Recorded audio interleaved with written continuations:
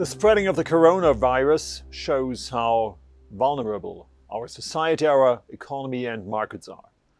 We do not know how this deadly virus will expand in the end, but we've already seen uh, that it has large repercussions on the Chinese economy and maybe on other economies as well, at least temporarily. As we know from SARS, the main impact comes through the private consumption channel, and this is even larger than it was 17 years ago when this epidemic did happen. So, in that respect, uh, the Chinese economy is likely to show some weakness, and we think that our base case of growth below 6% in China is likely to come through, but the authorities probably will do everything to prevent a fall below the 5% mark. Beyond that, we also see that other risks are still apparent.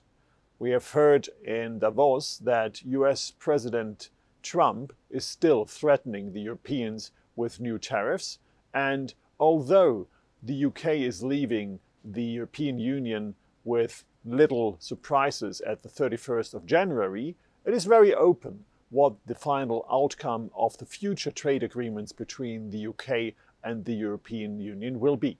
In that respect, we still have risks for the global economic development and for markets. Nevertheless, we have seen a pretty good start of the year on financial markets in 2020, and we have seen recent sentiment indicators, at least in some areas and in some sectors, to have some more upbeat readings. In that respect, we stick to our forecast that we will see the weak point of the economic development in the first half of this year and afterwards a moderate recovery.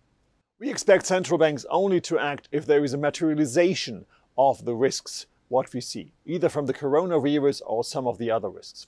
Otherwise, they will hold their feet still and let some room for the economy to recover on a moderate pace. Anything else? I take a ginger tea to strengthen my immune system.